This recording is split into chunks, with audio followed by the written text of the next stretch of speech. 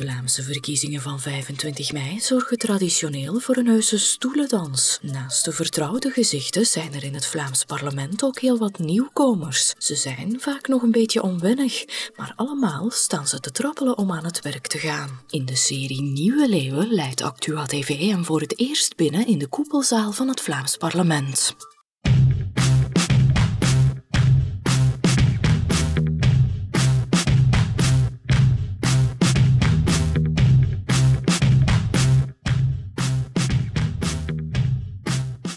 Ik ben uh, Jasmin Kerbach, 42 jaar.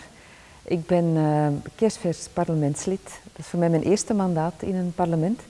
Voordien was ik al wel tien jaar actief achter de schermen in de politiek. Eerst bij Frank van den Broeke, dan bij Ingrid Liete en onlangs uh, bij Elio Di Rupo als zijn kabinetchef.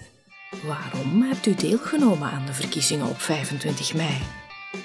Ik heb ehm, twee jaar geleden eigenlijk de, een belangrijke beslissing genomen Namelijk om dan voor de allereerste keer op een lijst te gaan staan. Dat was uh, naar aanleiding van de gemeenteraadsverkiezingen. Uh, Patrick Janssens vroeg dan uh, aan mij om op een lijst te staan. ik heb daar heel lang over nagedacht, omdat ik al zo lang achter de schermen actief was en daar ook perfect gelukkig.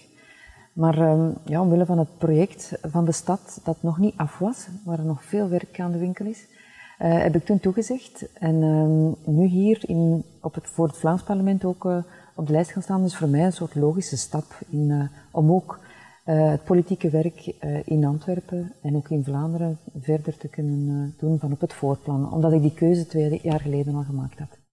Laten we even terugkeren naar de avond van de verkiezingen. Hoe is die verlopen voor u en wanneer hebt u te horen gekregen dat u verkozen was?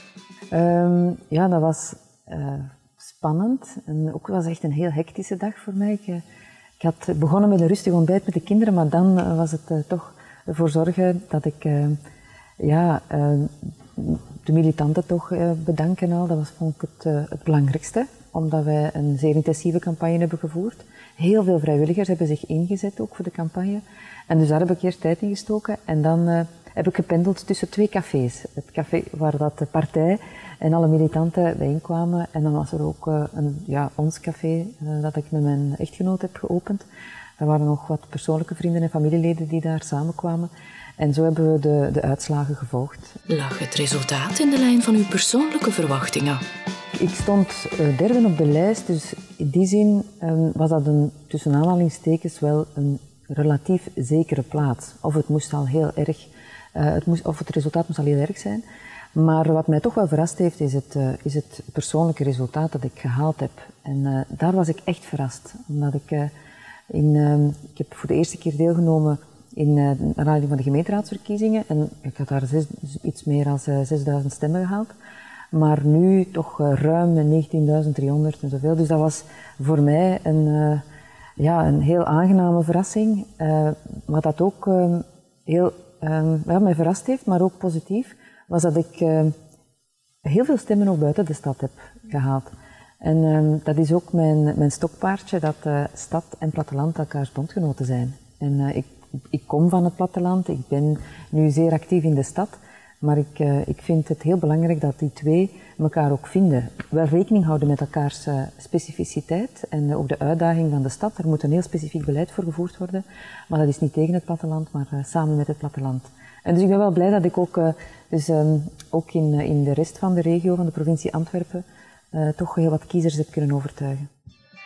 Wat denkt u dat u te wachten staat als Vlaams volksvertegenwoordiger?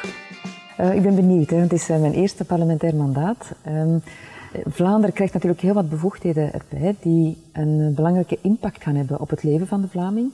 En ik denk wat dat de grote uitdaging gaat zijn, die nieuwe bevoegdheden op het vlak van arbeidsmarkt, op het vlak van zorg, op het vlak van wonen, dat we die goed invullen op een sociale manier. Um, maar daarnaast is het zo dat we, ons land heeft een heel zware crisis gekend, hè, een wereldwijde crisis.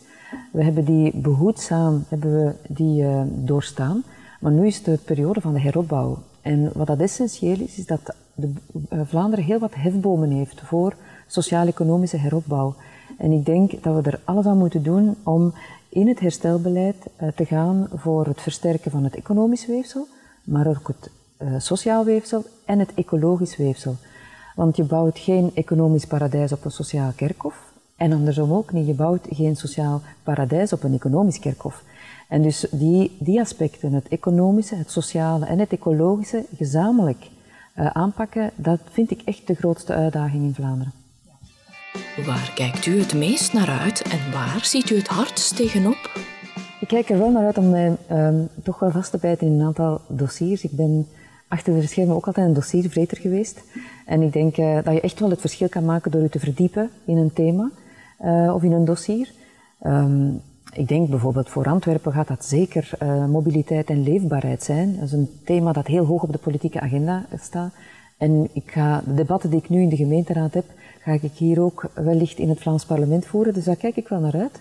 En daarnaast wil ik toch ook wel een aantal onderbelichte thema's um, een invulling geven op mijn manier, door me erin vast te bijten. En uh, dat gaat dan onder andere over het ecologische. Ik vind dat dat vaak uh, de duurzaamheid en het ecologische wordt gezien als een als een soort kers op de taart, terwijl ik dat fundamenteel vind ook voor, uh, voor het welbevinden van de, van de Vlaming en ook voor onze economische vooruitgang. Waar ik uh, misschien een beetje naar, ja, of hopelijk zoveel mogelijk ga proberen te vermijden, is uh, te verzeilen in, ja, in gehakketak. Of ik, in de politiek, dat is zo'n beetje mijn rode draad in mijn politieke loopbaan, ben ik altijd iemand geweest die oplossingen bijeenknutselt, eigenlijk. Dat is, uh, dat is een kwestie van onderhandelen, dat is een kwestie ook van uh, een soort, uh, ja, ook compromissen kunnen sluiten, goede compromissen, zodat je ook je tegenstander ook probeert te begrijpen en daaruit ook een oplossing kunt, kunt vinden.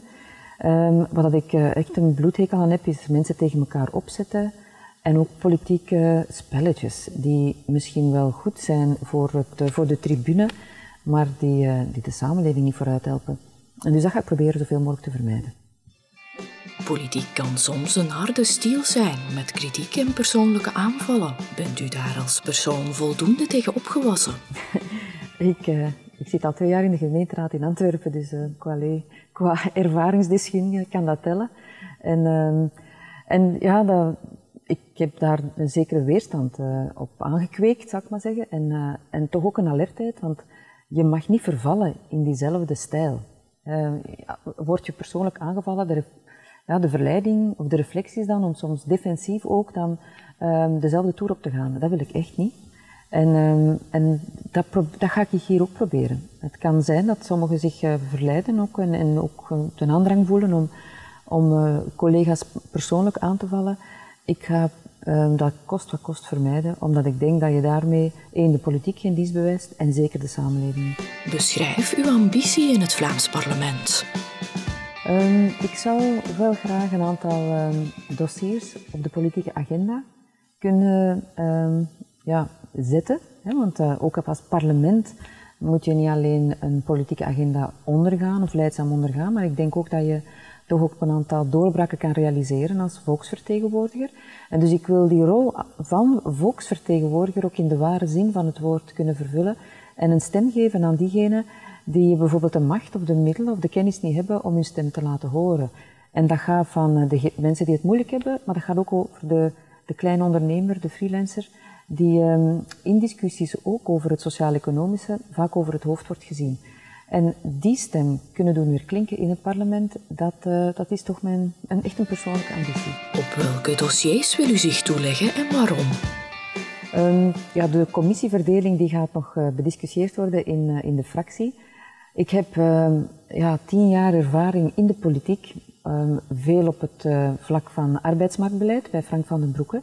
Dus ik hoop dat ik die ervaring op een of andere manier wel kan inzetten in het parlementair werk voor eigen dossiers, maar ook uh, voor, uh, samen met andere collega's. En uh, daarnaast denk ik dat ik thema's zoals mobiliteit, leefbaarheid en heel ja, het, het ecologische, dat ik dat ook in het belang ook van, van de stad Antwerpen dan zeker zou moeten meenemen in mijn, in mijn politiek werk. Hoeveel tijd denkt u te spenderen aan uw job als Vlaams parlementslid? Ja, ik heb een een zeer, zeer drukke periode achter de rug, omdat ik uh, het, uh, mijn functie als kabinetchef in het verleden combineerde met de rol van fractieleider in de gemeenteraad in Antwerpen. Dat was loodzwaar en uh, dus die combinatie die valt nu weg. Dus ik, Ik, ik heb mijn functie als kabinetchef beëindigd, zodat ik mij echt voltijds op mijn politiek mandaat kan focussen. En dus ik zal pendelen tussen Antwerpen en Brussel.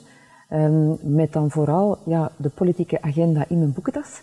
En uh, met de bedoeling ook uh, thema's die belangrijk zijn voor Vlaanderen, maar ook voor de stad, uh, om die dan in, in hier in dit parlement en in de gemeenteraad ter sprake te brengen, te bediscussiëren. Want ik zeg ook altijd, ehm, ja, omdat Antwerpen zo'n grote stad is, is het wel belangrijk om de thema's die voor Antwerpen belangrijk zijn, hier ook te bespreken.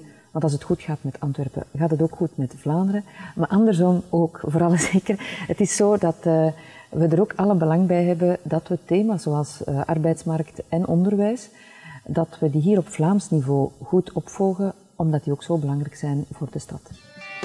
Waarop mag de kiezer u afrekenen? Um, ik denk dat het, uh, wat ik daarnet aangaf, van mijn, um, de manier hoe ik aan politiek doe, dus dat ze mij daar zeker uh, op mogen afrekenen. Ik wil constructief en inhoudelijk aan politiek doen op een positieve manier. Bondgenootschappen vinden met collega's over de partijgrenzen heen over thema's die uh, belangrijk zijn voor alle Vlamingen. En dat is dan uh, um, iets dat ik zal, zal bewaken en ik hoop dat de kiezer mij daar ook attent op zal maken, ook tussentijds. Dus niet na vijf jaar, want dat is toch ook iets dat ik ga verder opvolgen. Ik heb heel intensief op het terrein campagne gevoerd en ik heb al aangegeven dat die campagne niet stopt. Dus ik blijf die, interactie met het, uh, met het veld, met het werkveld, met de verschillende bewegingen, um, ga ik uh, ook verder de komende jaren aan werken. En um, wat dat dan de concrete dossiers betreft, ik hoop dat wij in Vlaanderen het verschil gaan maken op het vlak van uh, het ecologische en het sociale. Uh, uiteraard is economische groei belangrijk, maar als we daar niet eerlijk verdelen en als we niet rekening houden met de, onze leefomgeving, dan gaat de samenleving erop achteruit. En dat is net het tegenovergestelde dat uh, we eigenlijk in de politiek zouden moeten doen, is er iedereen op vooruit helpen. Wanneer zal uw periode als Vlaams parlementslid voor u persoonlijk geslaagd zijn? Um, als ik natuurlijk harmonie vind tussen mijn, uh, mijn politiek werk en mijn privéleven. Ik, dat is een grote uitdaging voor iedereen. En, en zelf wil ik dat toch ook op een goede manier doen. Zodat, politiek is, is een zware job. vraagt veel van ook mijn eigen leefomgeving. Daar zou ik toch ook willen over waken dat ik dat evenwicht ook, ook in stand hou. En tijd, genoeg tijd besteed ook aan, aan de mensen die, die ook mee investeren ook, hè, in, in deze politieke loopbaan.